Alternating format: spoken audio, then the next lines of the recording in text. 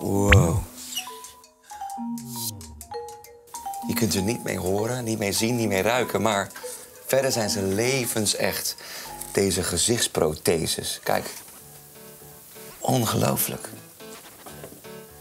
Eigenlijk net als een, eh, een eh, kunstbeen of een kunstarm, alleen dan eh, van een ander stuk van je lijf. En ze worden allemaal gemaakt door deze knappe kop, Shirley.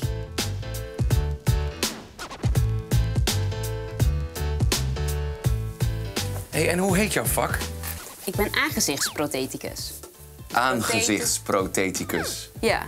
Wat een vette titel. Het, het lijkt mij niet dat je dat dacht toen jij eh, vijf was... en als mensen jou vroegen wat wil je worden, dat je dan dit dan wist. Ik was 16. En voor welke mensen eh, doe jij dit? Eh, mensen kunnen hier in het ziekenhuis komen als ze aan kanker geopereerd zijn in het gezicht. Deze mevrouw bijvoorbeeld, die heeft eh, toen ze geboren was, had ze een klein oortje. We hebben zelfs een aantal mensen die hebben een ongeluk meegemaakt. En daardoor is er iets van een neus of een oor bijvoorbeeld beschadigd. En kunnen we ook een prothese maken. Dus jij geeft mensen hun, eh, hun gezicht weer terug. Ja, een beetje wel. Eigenlijk beginnen we altijd met het maken van een afdruk. Want we hebben eigenlijk een stukje van de patiënt nodig hier om iets te kunnen maken wat natuurlijk aansluit op de huid. Ja. En daarop kunnen we dan een prothese gaan maken met was. Is dit dan eh, wat, wat, wa- hoe de patiënt zijn huid eruit ziet? Ja. En wat dan? Dan hebben we voor een oor eigenlijk de goede kant nodig. Omdat we willen weten hoe het dan eruit ziet. En om te zorgen dat je hem dan in spiegelbeeld kunt maken... kun je eigenlijk met een klein stukje plastic hem overtrekken.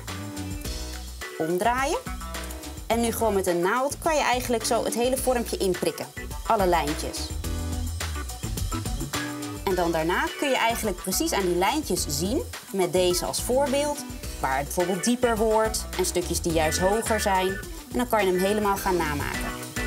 En zo'n oor namaken, dat valt nog niet mee. Dan ga ik dan. Hoe moet hij ook alweer? Eigenlijk gaat dit stukje hier langs. Ja, ja, ja. Apart spul is dit zeg. Ja. Het is echt het idee van kaarsvet. Ja. Dat. Kijk, als dat dan mooi zacht is, dan kan je het eigenlijk met zo'n gereedschapje kan je het er dan een beetje uitlepen. Oké. Dit is al een beetje te hard geworden. Jongen, jongen, dit is echt een werk hoor, Shirley. Kijk. Nou, nog een paar uurtjes oefenen, dan is hij helemaal netjes. Wat een werk is dit, zeg. Als het oor van was klaar is, maakt Shirley er een gipsen mal van. Hiermee kan ze dan de echte prothese maken. Oh, dit is gewoon uh, levensecht, hè? De mal kan ze zo vaak gebruiken als ze wil. Bijvoorbeeld om het oor in verschillende huidskleuren te maken. Handig voor in de zomer bijvoorbeeld. Vandaag komt Estrella het oor ophalen dat Shirley heeft gemaakt. Hoi, ik ben Estrella. Hi, ik heb net eh, zitten knutselen aan een oor voor jou. Oh, serieus? Maar dat is moeilijker dan ik dacht. Laat ons eens even zien waar, wat, wa- hoe dat oor er van jou er nu uitziet. Nou, het ziet er dus zo uit. Oh ja. Dus een paar bobbeltjes. En dat is het eigenlijk. Ben je gewoon zo geboren of hoe is dat gegaan? Nou, ik ben eigenlijk geboren met een soort van frum, een frummeloortje. Het heet microtie. En ja, dat is gewoon dat je een heel klein frummelend oortje hebt. En dan is dat er gewoon. En nu is de dag aangebroken dat je eigenlijk voor het eerst je protheseoor gaat zien, toch? Ja. Kijk eens, dit heb ik voor jou geknutseld. ja, die is echt heel mooi. Ik vind hem zelf ook echt heel goed gelukt. Ja, het is Echt, echt goed gelukt. Nou, ik ben heel blij dat jij niet mij hebt, maar Shirley. Want alleen al qua kleur is het verschrikkelijk. Maar Dan zie je hoe belangrijk dat is. Ja, de kleur die komt pas als we de siliconen doen. Daar is je oortje. hè? Hij is Wat zo vind je mooi. ervan? Hij is echt heel mooi. Hij is echt heel mooi. Nou gaan we eens even kijken of die een beetje mooi past. En met een speciale lijn blijft de prothese met gemak de hele dag zitten.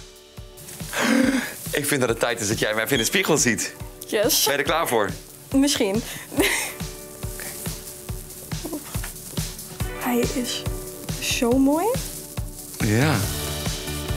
Het ziet er echt gewoon echt uit ook. Ja. En doe nou eens beide kanten vergelijken. Het ziet er gewoon hetzelfde uit. En je hebt gewoon eindelijk twee oren. Hey. Hey. Wauw. Ja. Eén, twee. Je merkt ook gewoon niet dat hij nep is. Nee, Je ziet het helemaal niet.